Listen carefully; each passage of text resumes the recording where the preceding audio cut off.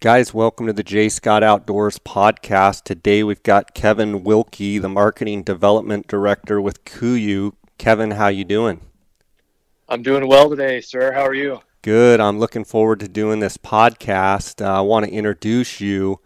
Um, I call you the archery guru. Uh, but for you know that term gets thrown around a lot, and quite honestly, you probably wouldn't like me calling you that. But um, truly, you're uh, an incredible archer. I've got some some things that you've accomplished: World Games gold uh, gold medalist, World Field silver medalist, Vegas 900 Club, uh, NFAA Field Hunter Round record holder, 560 out of 560, uh, 20 plus national and international pro level podium finishes. Uh, yeah, I would say archery guru is a pretty good title. yeah, it's it's been my life. Um, as long as I can remember. We had we had bows around the house as a kid, and um, yeah, it's it's something that when I was a kid in school, like the, going into parent teacher conference, and they're like, "This kid's a little too much in archery. You might want to get him into something else that he can make a career out of." And uh, anyway, no, it, it the archery thing's done well for me. That's fantastic. Um, today we're going to uh, answer a bunch of questions from Instagram followers and podcast listeners on archery, and we I kind of open it up to any archery questions. I think as we move along, we're going to try and do some more of these this spring and this summer and into the fall, into the hunting season. So I want listeners to kind of get uh, comfortable with Kevin and, and his ability to answer questions and bring the knowledge that he has. Um, before we do that, Kevin, being that market, marketing director with KUIU on an everyday level or, or everyday case, what what is it that you do with KUIU? Yeah, my day to day, I work from home. I live in Santaquin, Utah. I've got uh, my home office set up. It's actually my, my shop in my backyard. I have all my archery gear here. Like I have pretty much every tool under the sun used to work on bows all my reloading equipment, also my home office all in one little shop. Um, so I work remotely. I spend maybe um, every six weeks or so at the KUIU office, um, just touching base with the team there. But so my day to day, I I write uh, our product description. So when we have a new product coming down the hatch, uh, I work with our development team to get all the ins and outs of it, and and I basically translate that in a way that most hunters, or hopefully all hunters, will be able to understand what that product is used for, its best case scenario, when you would use it. Um, so when you read a description on on KUIU.com, I'm likely the guy that put it together. Some of the older products I, I haven't had a hand in, but a lot of the newer products that we've come out with, I've played a part in in writing those descriptions. So try to write everything from a hunter stand or point of view and uh, another thing that I'm in charge of is our is our blog content. So if you if you go to KUIU.com and look on Basecamp, I'm the guy that kind of funnels everything into that. So uh, I write a lot of the articles myself. Um, I know Jay, we've had you help us with quite a few of them, and and a lot of the other guys within KUIU that um, that are big time hunters. that's who we're getting our content from. Um, from your point of so, view, Kevin, how important is it? And I think that's one of the things that KUIU has done such a great job at is having hunters, you know, involved in the company and having hunters and have it. I, I, I like hearing it when you say come from a hunter's point of view so that when hunters read it, they understand it and you're speaking the language. But how important do you think that is from a consumer standpoint, um, being able to, you know, digest the information about all of the different products that KUIU comes out with coming from hunters' language and you know speaking directly to the hunters. Yeah, I mean we we've been in your shoes. Like we're we're hunters just like you guys are, and, and that's that's where we do our real world product testing is on the mountain. And I mean, you wouldn't want it coming from anybody else, really. Like I, I, and it's easy to see right through it. You can you can tell. Like I've looked back at other products and the way they're marketed. If it's a somebody that doesn't hunt that's putting it together, like we're good hunters. We can see through that kind of stuff. So it's so vital for our business to not only just so we appear authentic, but just so we get it right. Um, you know, it's a hunter that's designing these products. It's a hunter that's marketing them. Um, not everybody that works at KUIU hunts, and I, and I don't think that's really important, but you know the the people that are driving the direction forward, we all we're all big hunters. Speaking of hunters, um, you're quite the hunter yourself. What is what would you say is your number one animal that you like to hunt? I am a mule deer guy. Like that's from just as a kid. I just I've always been fascinated by mule deer. Living in Utah, you know, the elk hunting wasn't that great here when I was a kid. Like I remember being in school and some kids had never even seen an elk before, and but it, it just really elk numbers have really exploded. But I love hunting elk, but mule deer is where my heart lies. Both archery and rifle. You know, I I've taken two deer with a rifle, two mule deer with my rifle, and I I didn't hunt with a rifle until I was like in my late twenties. But as a kid, I, I only bow hunted. So from the time I was 14 till um, I, I, think I shot my my first deer with a rifle when I was in my mid 20s. But would you say rifle hunting has kind of captivated you? I mean, as as much as we're going to get into archery here, and as much of a you know guru as you are with archery, long range shooting, and and you know hunting, so to speak, with a rifle has has really got your uh, wheels turning right now too, doesn't it? Yeah, for sure. So my my previous job, I worked for uh, Gold Tip Bee Stinger Archery, and, and part of their company was Vista Outdoor, and they uh, working under Vista. You know, they own Federal Ammunition, Savage Arms, um, RCBS reloading, and, and I grew up doing all that. Like my brother was a big reloader, and um, we would rifle hunt every year. It's just in Utah, you had to pick your weapon, and I always chose to hunt with a bow. But you know, coming from a competitive background in archery the PRS shooting sports has really caught my attention. Just something else to do. Um, I, I, just I'm I'm a shooter. I love to shoot. So the accuracy, the the competition is what drives me. So that's kind of what's got me back into rifles in the last few years. And I have five kids, three boys and two girls. So um, getting them out on the bow hunt's a little trickier. It's right as school starts. Um, but rifle season, things have kind of mellowed out with school, and it's it's easier to take kids rifle hunting.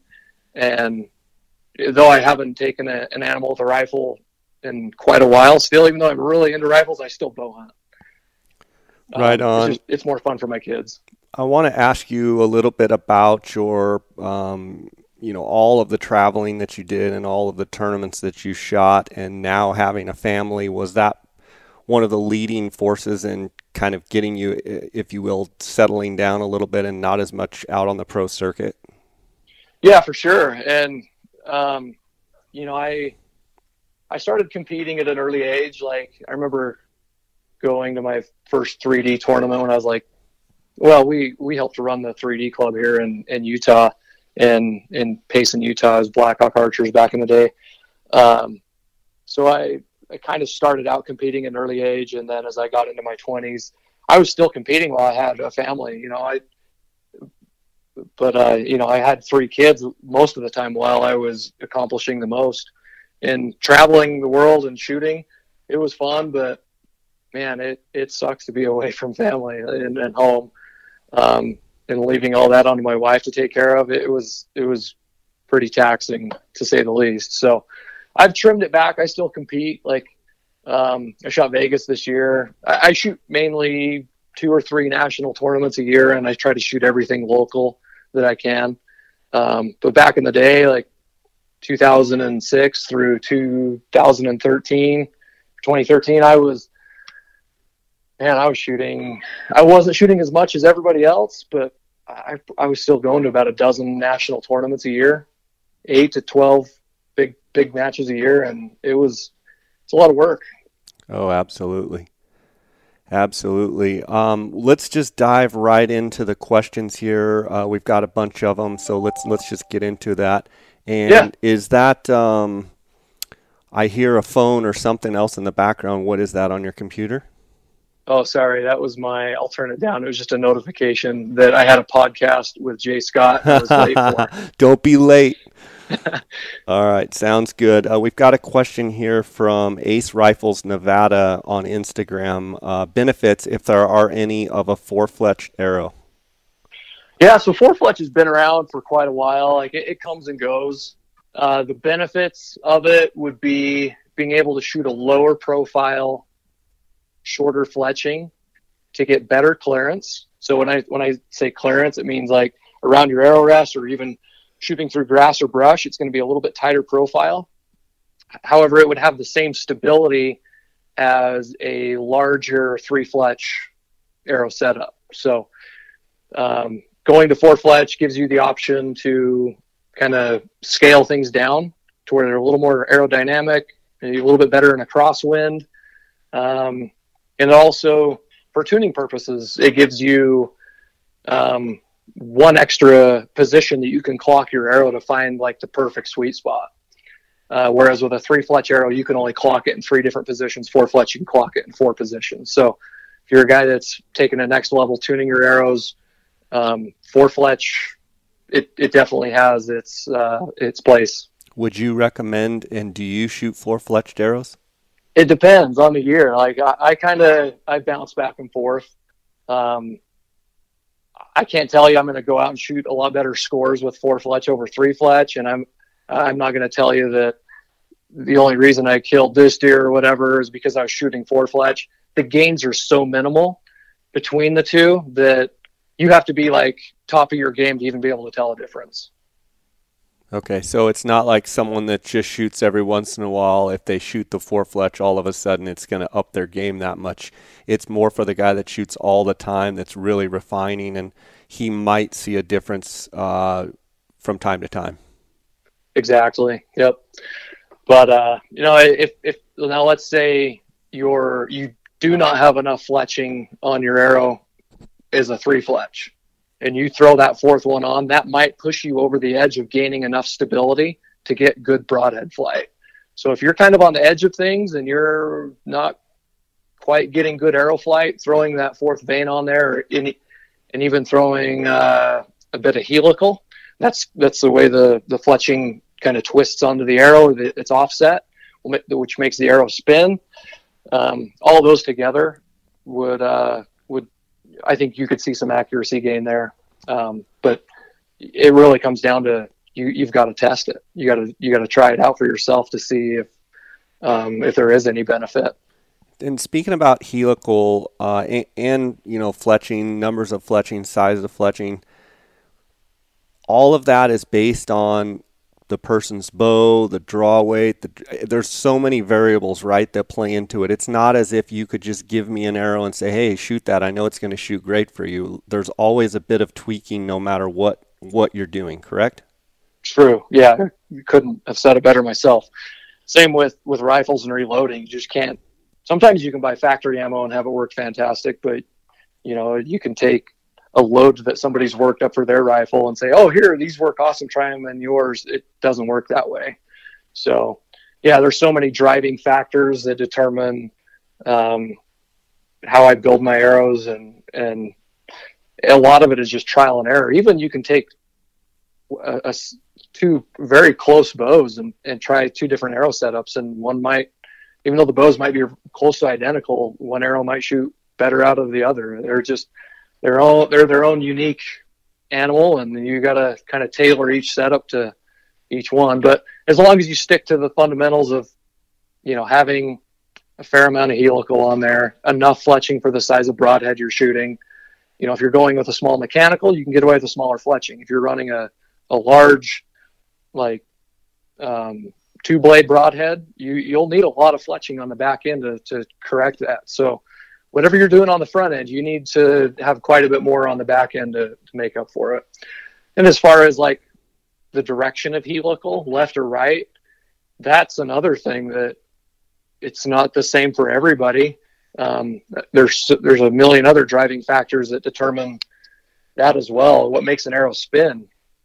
As an example, you can cut all of your fletchings off an arrow, or just shoot a bare shaft, and you know, at a close distance on your target.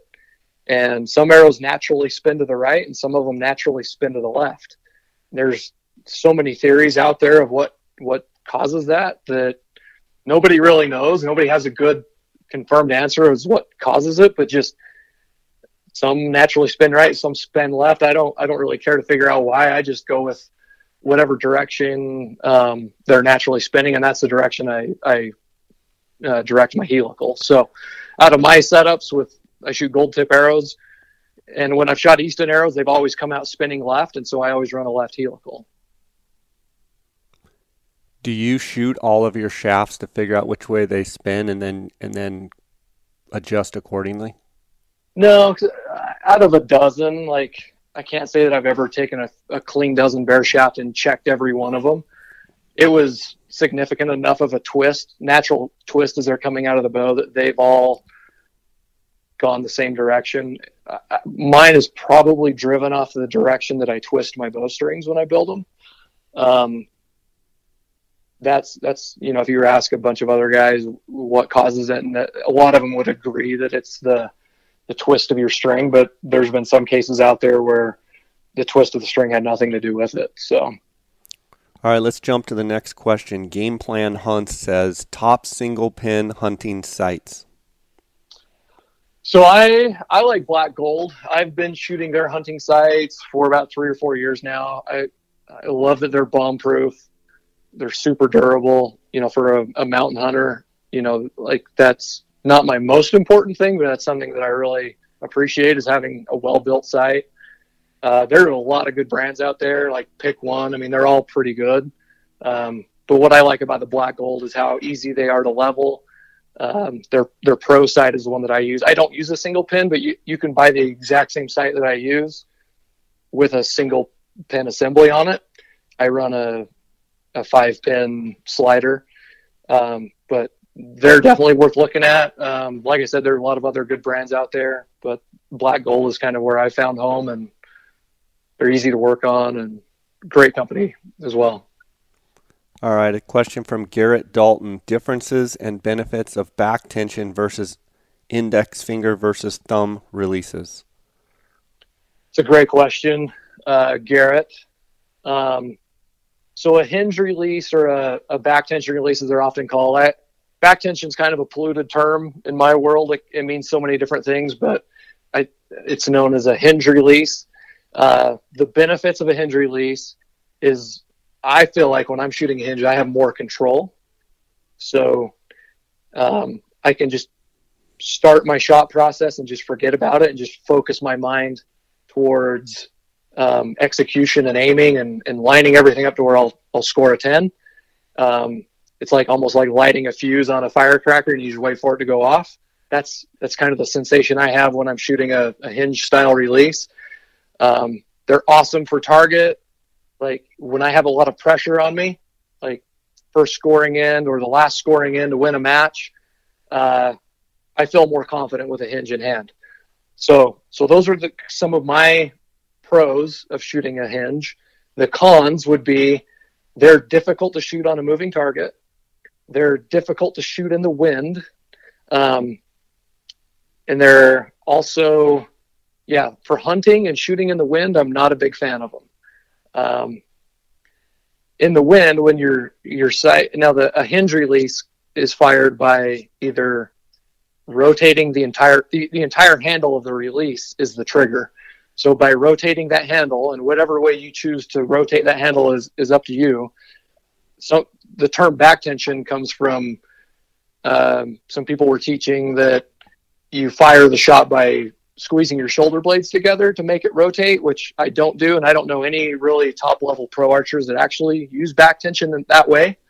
Um, they're more of working the release by hand, you know, pulling it to the edge, and then as they steady their aim and maintain strength on the back end of the release, the shot fires. So, yeah, shooting it at game while they're moving, and also shooting fast shots on animals, they're they're just not that great for. Um, switching to the differences. and I'll talk about the index finger release. So that's the type of release that straps around your wrist and you trigger it with your trigger finger. Um, that is my absolute go-to for hunting. Um, I feel like I can make a quick shot with an index trigger release. if I'm on on game and animals, I'm just way more confident shooting that type of release. I've got to make one good shot, um, and I can make it happen. The uh, the downfall of an index um, release would be it's easy to develop target panic. So I know a lot of guys, you know, I, have had it before as well, and it, they do take a little bit more mind control. So I typically practice all year with a hinge or a back tension style release, and then I'll pull out the index finger, you know, a month before the hunt while I'm starting to sight in broadheads. And that way I've kind of worked out any bad habits and I can shoot the index release really clean. Um, switching to pros and cons of a thumb release. Uh, really, oh, and one more disadvantage to an index release is you might not get as consistent of an anchor point. Um, I typically take my index finger knuckle and lodge it behind the back of my jawbone underneath my ear. That's where I anchor in. And with a with a handheld release, you, you turn your handle, your knuckles are facing your jaw, and it's a very solid anchor point. So you get the same feel as you get with a with a hinge style release, that same positive bone to bone contact, but you're activating it with your thumb. Um, what I would recommend is, you know, if you're fighting some target panic, you know, you could try a back tension release or a hinge release, um, and then let's say you get really used to uh, a hinge style release, and then for hunting season, you want to um, switch over to something with with a mechanical trigger that's easier to operate on a moving target or to make a quick shot with. You could switch to a thumb, and bridging that gap would be a lot easier. Um, and again, uh, a downfall of a thumb release if if you don't quite have the mind control to to squeeze through the shot, um, that that is one downfall of them. I, I'd say. And for hunting, the reason I go with a wrist strap over a handheld is I've lost handhelds while I've been out hunting. so I prefer to while I'm hunting, I want that thing strapped to my wrist. As far as shooting 3D and competitive um, shoots, what release would you always be using in that environment? So up until last year, I would have told you uh, a hinge back tension style release for all competition. So with let me clarify why I would say up until like just a couple of years ago, as I've gotten into this into competing with a rifle, you know, I, have shot a lot of rounds with my with my trigger finger, and I bet I put four cases of 22 ammo through my through my 22 trainer. That's um, 20,000 rounds, and for whatever reason, doing 20,000 rounds through a 22 rimfire when the year I picked up my wrist strap to hunt with it, it was like I I was a new man. Like it was it back. was so awesome. Like I figured out the trigger control part of it. Like I just gained so much confidence from shooting that rimfire so much that it was just second nature and I I got over whatever demons I had for my entire life by shooting 20,000 rounds of 22.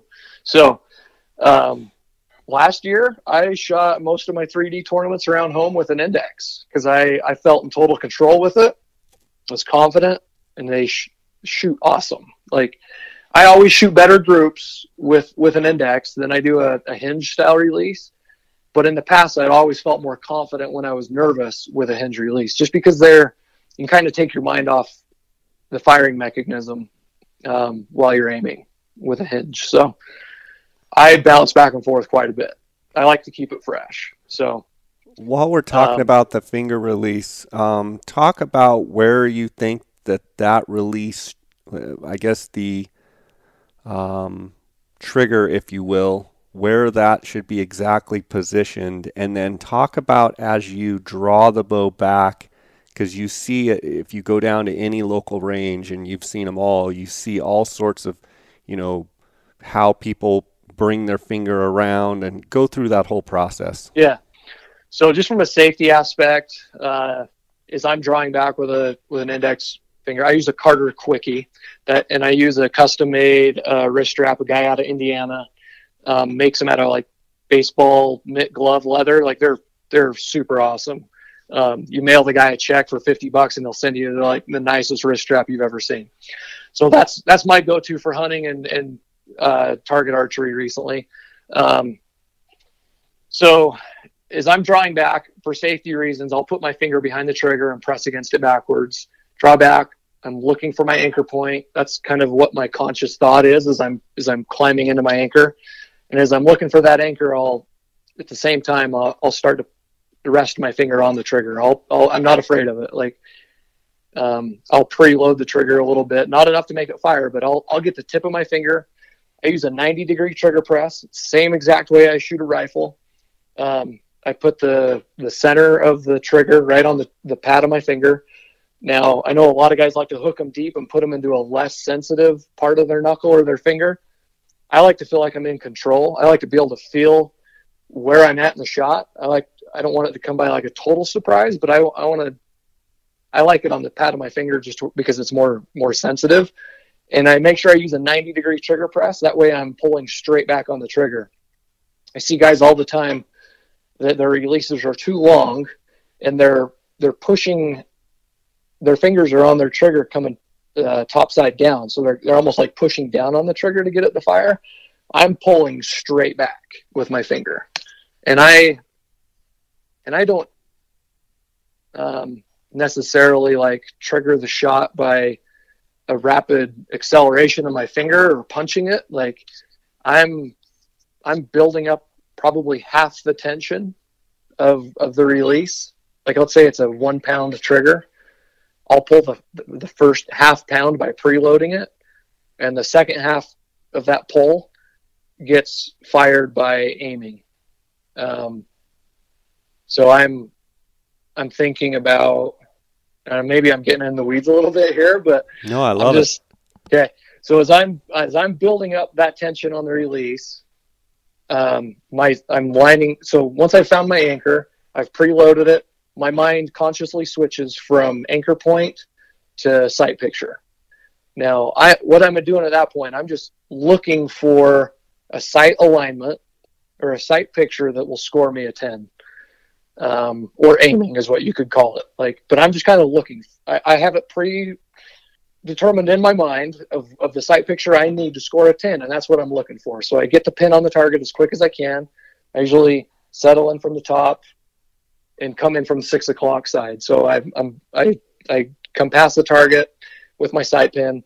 It's there at six o'clock, and as I the reason I come up from the bottom is it adds a little bit of tension to the system.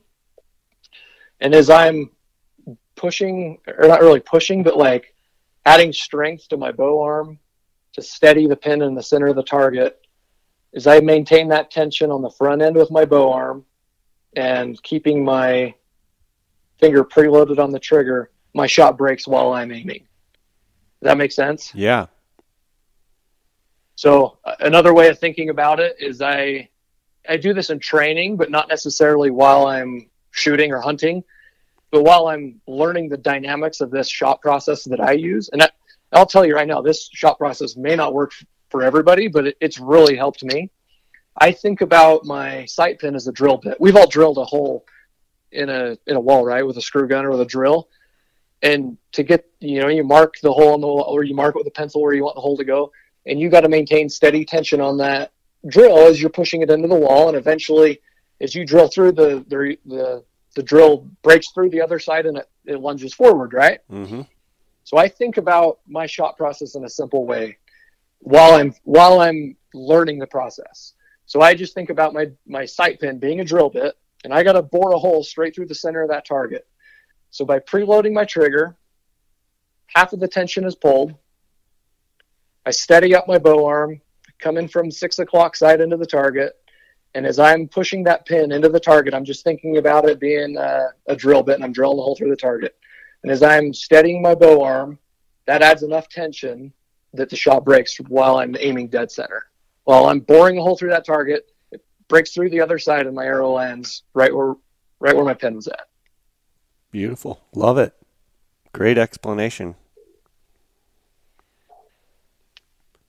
Okay, let's go to the next question. Uh, Danny Dot Ender, best way to learn to stack pins. Great question. So this is for the guys that are using like um, a five pin sight, right? So um, you got them sighted in for 20, 40, or excuse me, 20, 30, 40, 50, 60. And say he comes across an, a target at 80 yards, he's not just going to willy nilly just guess and hold how far it goes over your back, over the back of the target. There's a method, it's called stacking pins. And he asked for the best way. So here's what I'm going to explain. So you need to go buy a pair of just cheap plastic vernier calipers. Like you know, not a not a set of calipers with like uh, the battery in them, the digital readout or the dial or anything. Just the cheap plastic one. I think they're on Amazon for like a buck. They're just a slide ruler with a pair of calipers. So that's the first thing you need to do is is get a pair of those calipers. The next step is there's a software program. A lot of people are familiar with it, and there's more than just Archer's Advantage, but Archer's Advantage is the one that I use. Um, you'll print out a sight scale or a sight tape is what they're often known as. And um, you'll go into the settings of where you print them out and assuming you've got the right speed and everything for your bow. So this sight scale is a representation of, of your gap on your pins, right? Um, and so what you'll do is you'll set up the, the, the way it prints out. You'll want numbers on both sides. So you'll have 20 through 100 on one side and 20 through 100 on the other side and, and adjust the width of the sight scale so it's a little bit wider. And you're going to cut that out and you're going to tape it on to that sliding caliper right across the top of it. And where the gap is on the, the sliding caliper, you will take a razor blade and you're going to cut a slit down it. So what I'm what I'm looking for is basically a sight tape that's split right down the middle and I apologize if this is going to go over somebody's head, but he indeed asked for the best way. So that's how I'm explaining it. Uh, and so what, what you want that to be able to do is when you slide those calipers, those two sight tapes are going to adjust side by side. Mm-hmm. So let's say you're out on the field course and you've got an 82 yard target and you're only sighted in from 20 through 60. So you're going to slide your 60 yard pin down to 82 yards, right? Mm-hmm and then you'll look up on the so the right side of the scale let's just say that's how far your target is and the left side of the scale is what's going to determine your gap. So you're going to slide the scale so your 60 is on your 80 right? Because mm-hmm. or did i say 80 or 82 yards? 82 82 yards. You're going to put it on 82 yards and then you're going to look up at 60 on the left scale and you're going to cross it over and see where it's lined up at. And let's say it's on 35 yards. So what you'll do is you'll draw back, you'll aim at the target, put your 60 yard pin right where you want to hit, and you're going to look up above the target where 35 yards is at, right? And then you're going to take, you're going to, you're, you'll memorize right where that's at. You're going to pick a spot on the mound. Maybe there's like a little rock or something that you can aim at where your 35 yard pin is, or you're going to see how far it is off the back of the animal. And you're going to aim at the, you're going to put your 60 yard pin right where that 35 yard mark was and then you'll execute your shot. That is how the most accurate way to gap pins. What's the worst way? We're just willy nilly guessing, like just holding over. But um, and, and, you can still do that with uh, without the sliding scale. It's just not as accurate. So if if you do it without the sliding scale, you'll have to maybe let down. Like you'll you'll draw back and you'll look and you'll find a reference point of where your 60 was at, or your 60 and you're going to count up two pins. Uh, it's just not as accurate. So by using that sliding scale, it matches the exact um, graduation of your of your sight settings, and it's it's it's it's the way forward. If if you're gapping pins, that is the way you do it. Great stuff. Uh, next question, Mike at Rolling Bones: Speed versus kinetic energy where do you fall? What balance? Question mark. That's a that's another good, really good question. Um, thanks, Mike. So, me personally, I've always been, and I've and I've validated. I, I don't do it this way just because I've always done it, but I've validated it year after year. I I try to shoot the heaviest arrow I can, and still get around 275 to 295 feet per second. Because what's important, the most important thing for me when bow hunting and and I feel like everybody should be on the same page is shot placement. Shot placement is the absolute most important thing when hunting an animal. Like when you decide to shoot one, you've got to place that arrow in the right spot.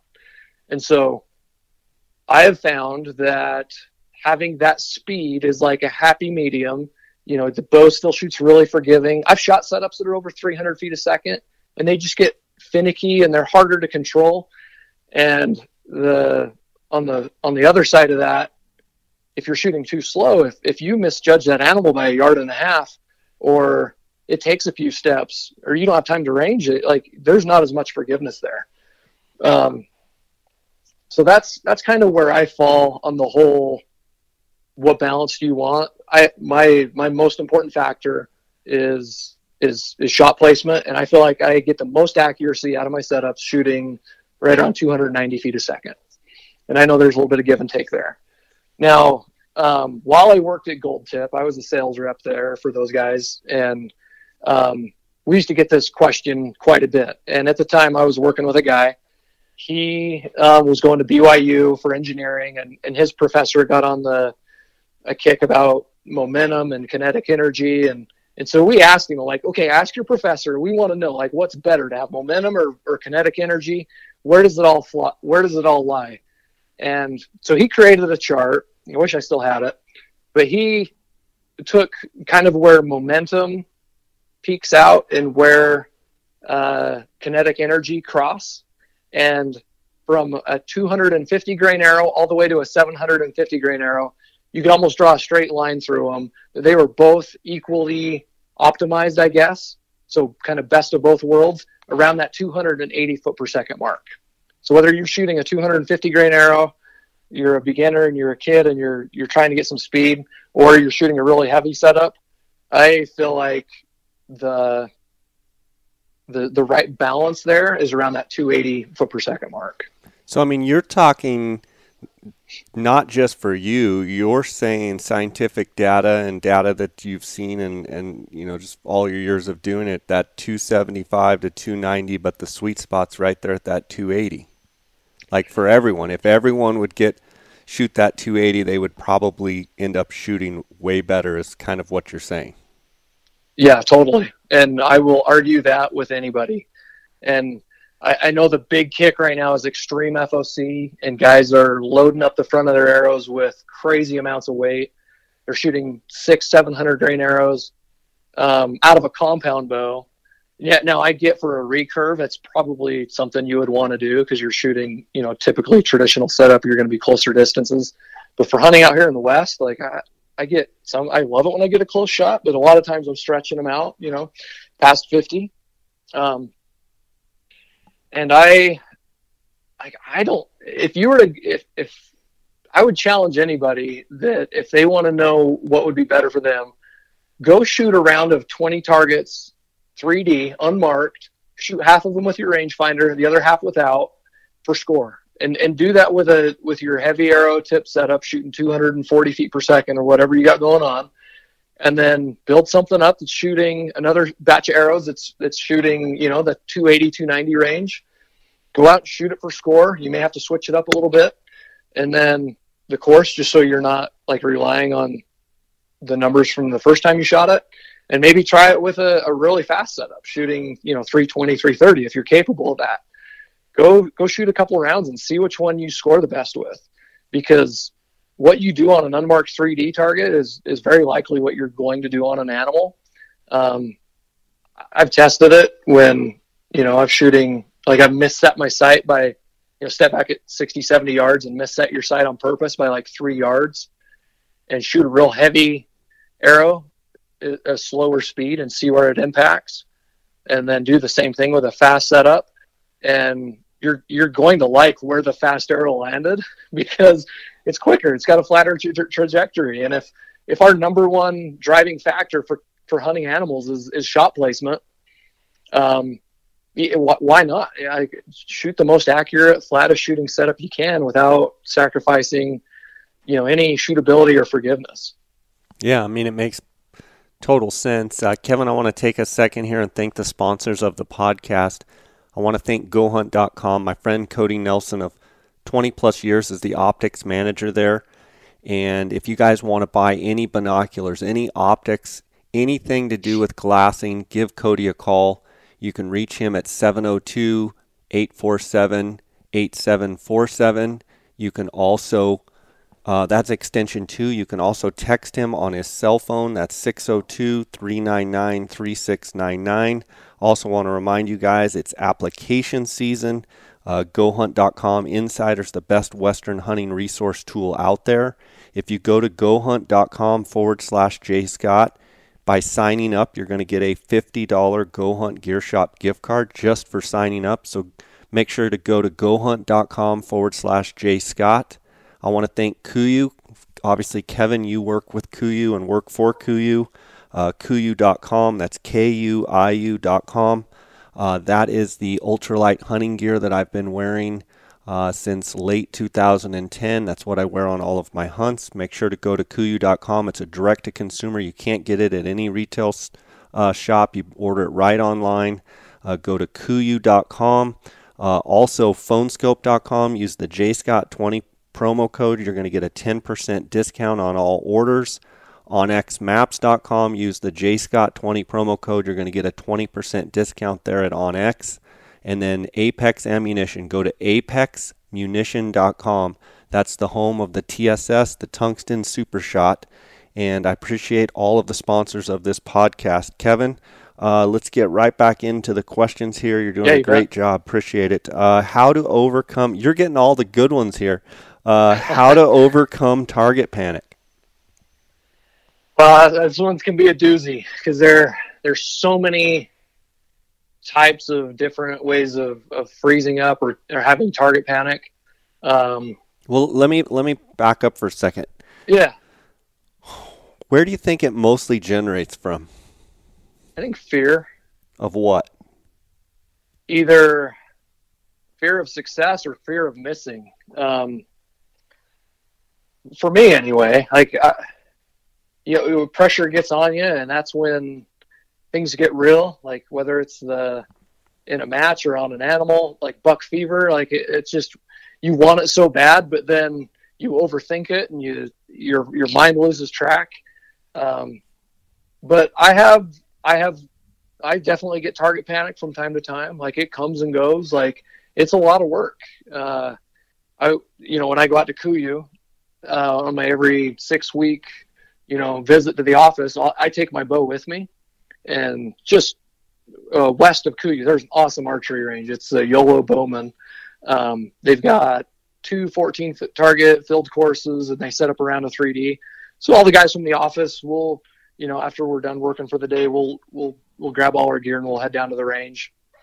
And um, was working with a, a bunch of the guys there at the office, and they were asking me, you know, same thing. How do I overcome target panic? And I usually start by asking some questions to figure out kind of what they're dealing with, whether they can aim really steady and they just can't get their finger on the trigger to make it execute, or they can put their finger on the trigger, then they can't aim, or and it, it's usually driven by an unsteady sight picture. Like they just can't quite get things steady enough, and it just causes them to panic. Um, so circling back and when I the way I was explaining the way I fire my release, the the way I, I preload I, I preload the trigger and I think of my pin as a as a drill bit into the target, um, where I got to bore a hole through the target. For me, that really like simplifies the process. And and as I'm practicing my shot routine or or kind of the way I execute the shot, I like to do it on a um, the term blank baling gets thrown out a lot. It's the same as like dry fire practice with with a rifle or hitting the batting cages if you're playing baseball or you know just working on your swing if you play golf. It's it's kind of the equivalent of that it's just blank baling. You'll get up kind of close to a target. Um, that's where i learn my shot. That's where i practice my swing. Um, and i know a lot of guys preach that you should take your sight off the bow. You know if you're if you're really new to the, the sport and you're just trying to learn one thing at a time um, I think that's where a lot of guys get into trouble is they buy a bow, then they try to get it sighted in right off the bat, and then all these bad habits kind of come into play, and they've skipped all these other um, building blocks of, of a shot process. So they skipped learning stance. They skipped learning hand placement. They skipped learning how to pull the trigger on a release, and they've just jumped right into um, trying to hit a target and get their bow sighted in so they can go shoot with their buddies. Now, some people can just do that, and other people, I for one, I'm not. I wasn't ever that talent. I wasn't talented enough to be able to just go do that. It took a lot of work. Um, I learned the wrong way. I learned the wrong way of just getting out there and trying to sight in a bow and shoot it. I never I never laid a solid foundation of a of a good shot. Um, so if you're dealing with target panic, I would I would really recommend starting fresh. Get up close to a target. You know, the, the times we're in right now, a lot of a lot of the ranges are closed. A lot of the 3D shoots are not happening. Um, use this time wisely. Get start from scratch. You know, get get close to the target and and remove completely remove the the scoring or where you're hitting out of the equation just work on your swing. Work on, you know, get your stance dialed in where your your your feet are shoulder width apart and and it, you know there's so many so much information out there and and top level professional archers you can follow and watch their videos like there's so much info out there there's no excuse um, but I, w- I would start with the basics and just get just check one thing off it, go through a checklist and just check everything off to where you feel like you've perfected it. Perfect your stance, perfect your grip, perfect your release. Work, that method that I explained of of firing the, the way you fire your release is usually where people get hung up because when they're trying to aim, their mind's going back and forth between aiming and squeezing, aiming and squeezing. And that's something people don't experience when they're shooting a gun, like off a bench or off a bipod. The it's it's rock steady. They don't have to really worry about it. So all they really have to focus on is squeezing the trigger. But bows do not aim nearly as well as a rifle off a bench um, or off a bipod. So you, you kind of get used to seeing a little bit of movement um, in your sight picture, and that's okay. Like when when I'm aiming at a target, I'm not like sometimes I'm dead steady, but most of the time my pin is just kind of doing a figure eight around the target. Like it's it's got some movement to it. And as you get nervous, that that that movement magnifies. Now I've I've stood on the line and shot for world championships before. Like I wasn't super dead steady when I was breaking those shots, but the nerves never really go away. You just kind of learn to shoot through them. And if you ask any pro archer, they'll tell you the same thing. They're like, "Oh no, I was nervous as could be, but they may look like they're rock steady on the outside. It's just they've learned to commit to the shot. You, you got to be t- so determined of what type of shot you're going to make before it happens. Um, so, kind of circling back, you know, once you get all the mechanics down, like you can stand there with proper form, execute the release smoothly, cleanly, everything's kind of dialed in. The next step of that would be to build a shot process and and follow that process all the time. Um, I was watching a, a, little video the other day. It was a it was a, a leopard had caught a he'd taken down an antelope and it was going to drag it up this tree. So here's this video of this leopard at the base of a tree with an with an antelope laying there dead on the ground. And the first thing that leopard did is it looked up in the tree.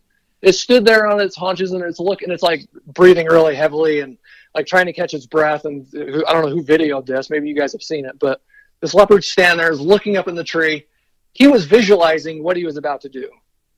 He had to drag that freaking antelope up that tree get it to where he could eat it where it was safe from other predators and the first thing he did is he stopped and he looked and he visualized about what he was going to do and i'm like and i picked up on that and i'm like he just visualized what he was about to do, and he's standing there and he grabs a hold of it, and he he jumps up the tree and he like he drags it up there and he and he does it. So, and it just made me think about like, man, that's the same way I shoot. That's the way. I, that's the same way. I, I got something really important that I've got to do. I want to shoot this deer. There's a giant buck. I got him bedded down. The first thing I'm going to do is I'm going to visualize what I want to happen. I'm going to make a plan.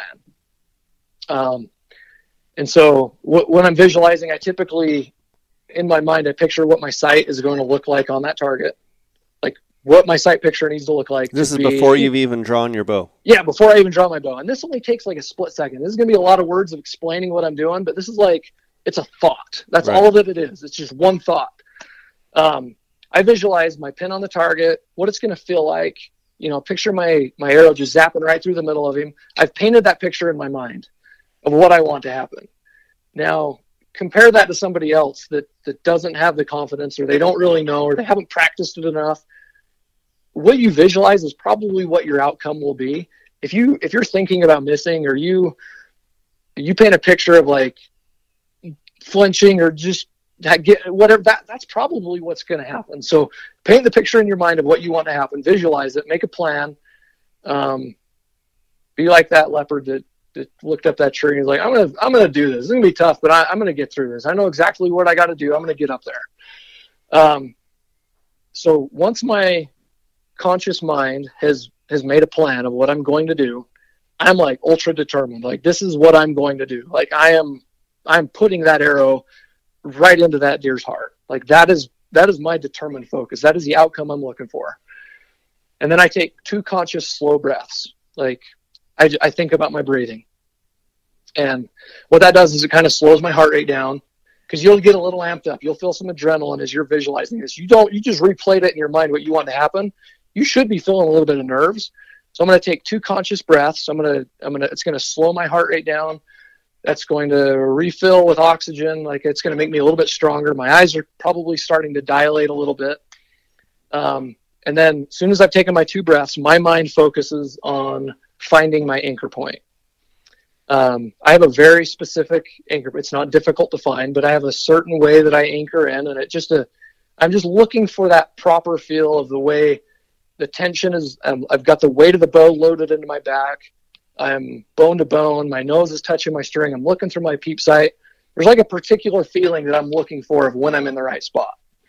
So that's my second conscious thought once I've found that spot and everything feels right and I'm loaded up and I'm pulling into the, the, the stops on the cams and I'm and I'm anchored in and I'm feeling strong, my ne- my next conscious thought is sight picture. And I, and I say the word aim kind of loosely, like I'm just thinking about aiming. Like I'm not like trying to hold everything super steady.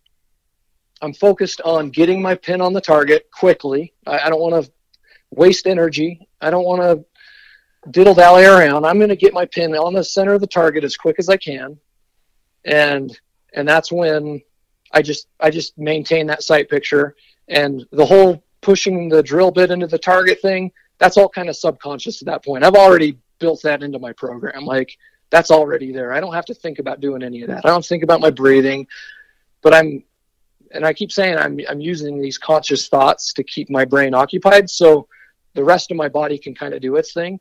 And if you've ever read any of Lanny Bassham's work, that's exactly where I'm not like Kevin Wilkey making this up. This is this is who I've learned it from. I'll give credit where credit is due. Um, so as I'm, you know, studying that sight picture, looking for the sight picture I want, the shot breaks, and then I go into evaluate what happened.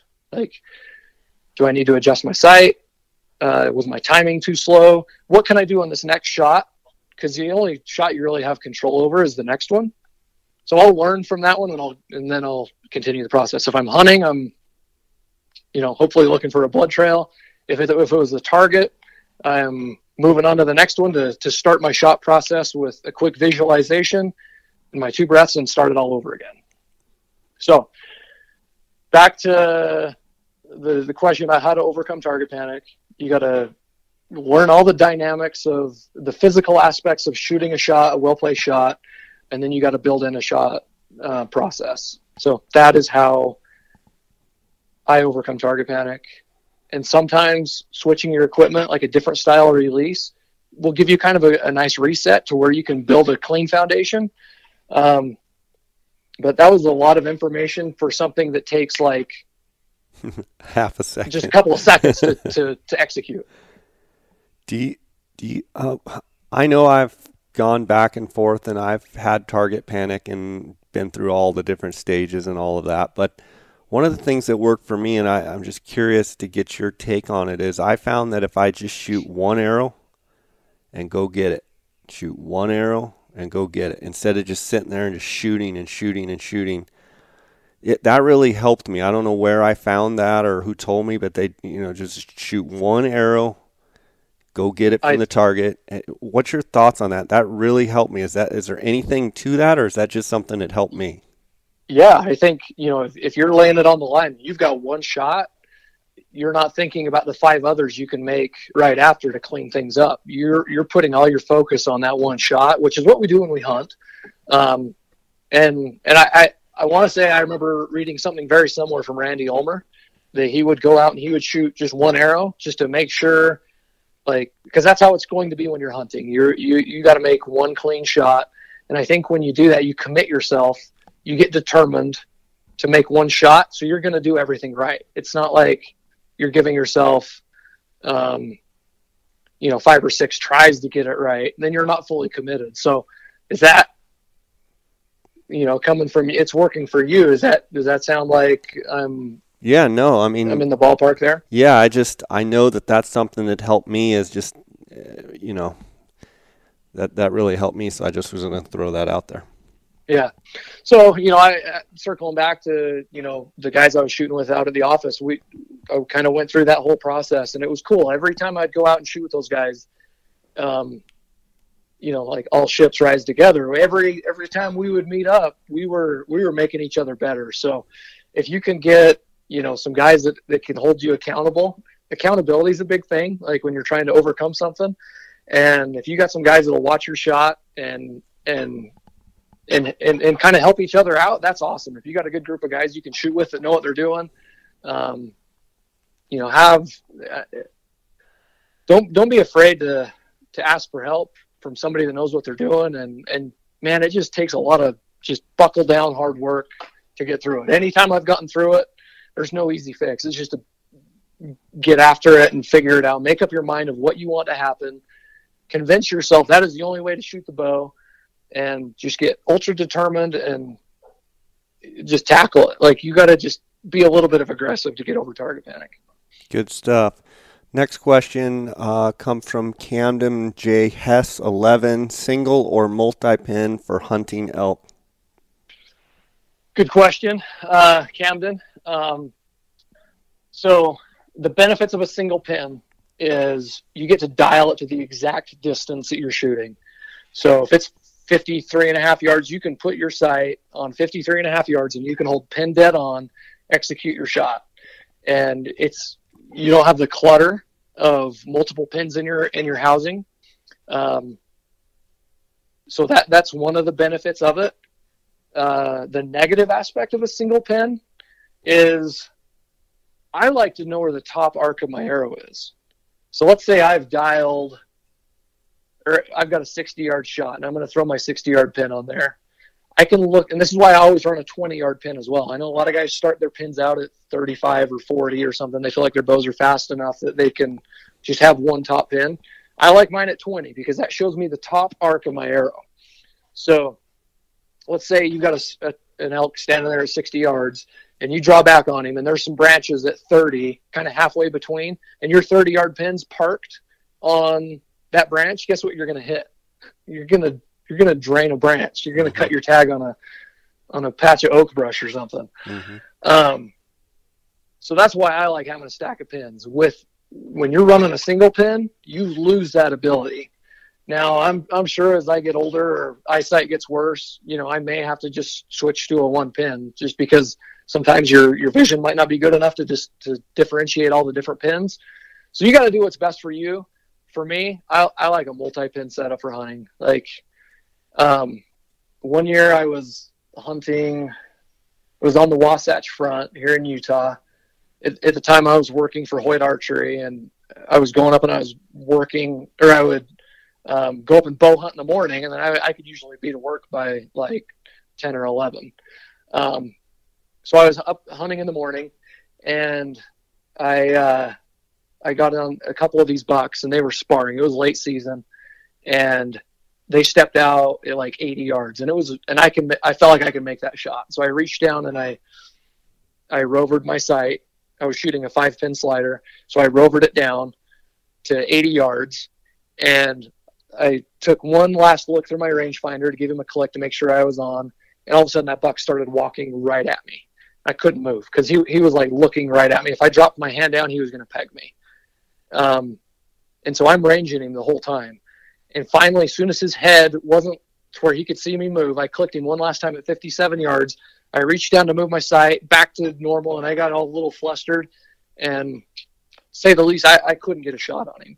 If I would have had a stack of pins, 20 through 80, I could have killed that buck like a couple of times. But since I was fumbling around with that sight, so that is another downfall of a single pin. Um, I guess it really depends on your situation, but um, where I land today is a is a I'm willing to make the risk of of, ha- of having to move my sight and and get caught with it out of adjustment.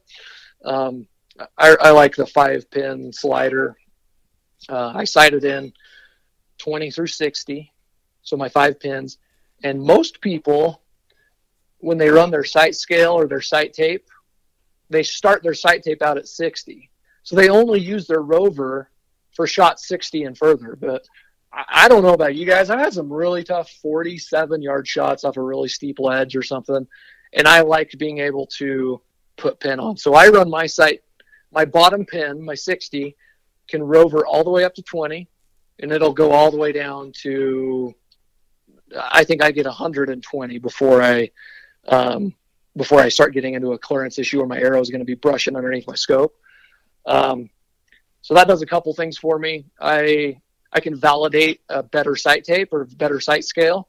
You know, where I can check my bottom pin on 20 and then check it on 60 is far more accurate than a guy validating his 60 on 60 and then checking again on 80 or maybe 100. So I get far more accurate sight scales. I can rover my bottom pin up to 20. I can rover it all the way down to 120. It's my everything pin. So if I'm touching that knob on the side, I'm using the bottom pin. If I've got it locked on 60 yards, I can use the rack of pins. I got 20 through 60, and, I, and I'll use that as I'm hiking through. Um, but I typically do, will not dial unless um, I'm in a situation that I can do it. If I've got time to range it, the target, I've, I've probably got time to reach down and dial my sight and make a good shot. It gives you a lot more versatility going though with the rack of pins and being able to slide it, doesn't it? For sure. Yeah, you. I, I feel like I can jump into any any shot situation and make it work. Next question here from T Lowry seven. Most reliable mechanical broadhead for deer. Well, take a pick, man. There's so many good broadheads out there. If there's if there's a time to be alive right now for for broadhead choice and selection is right now. Um, that said, uh, for deer, I like a, a big mechanical. Like you know, one and a half to two inch cut diameter. Um, I like mechanicals because they're accurate. Uh, the the where I found home is with the Grim Reaper broadheads. They're local to me here in Utah. Fantastic guys, and they make a they make a super good broadhead. Like they're really well built. They're very accurate. Um, I know a lot of people swear by a rear deploy blade um, and they they think that you don't get quite the entry hole with an over the top um, folding back type blade. But I've shot sheets of paper at like position a sheet of paper in front of my target at like 100 and 100 yards, and they open on a sheet of paper. I've I've pinned up bananas on my target just to shoot them something really soft, and they'll open up on a banana. Um, so if I if I had to pick one mechanical to last me the rest of my life, I would go with the the Grim Reaper um, Mini Mag four blade. Now, even though it's a four blade, it doesn't necessarily mean you have to shoot a three blade or a four fletched arrow. You can shoot three fletch on a four blade. It, it doesn't matter. Um, Do you ever but, see a correlation where you know um, that matters at all? Never, because I mean, you, you think about you know, the broadheads on the front cutting the wind. The airfoil comes right back around the back of the broadhead and it's against the shaft. It's not like you've sliced through that wind and there's like a gap in space that your vane is going to somehow find. Like it just doesn't work that way. Like, um, by the time your fletchings, I mean, there's some turbulence going along the whole arrow, but like having your vanes lined up with your body, it, it, it's been proven time and time again. It does not matter. Kevin, it's been an awesome episode here having you answer these questions. I really appreciate having you on the podcast. I know the listeners are just going to love this. And, you know, this is just a, another reason why KUIU has a great guy uh, in you doing this. You obviously your knowledge and uh, expertise and experience level with archery is amazing. Uh, Brendan Burns uh, told me how good you were, and it, it, just pours out of you here. I really appreciate you spending time uh, with us. We're going to try and do a couple more installations of this, and I know the listeners uh, over the next handful of months are really going to get to enjoy this. So uh, I want to want thank you for coming on. I want to thank uh, you for the work that you do with KUIU. And um, yeah, I look forward to the very next episode that we can do. And and uh, to the listeners out there, uh, we've got a great resource here in Kevin, and uh, look forward to getting more questions from you guys and uh, getting your questions answered. So, Kevin, until then, until next time, God bless. Okay, buddy. Thank you. Appreciate it.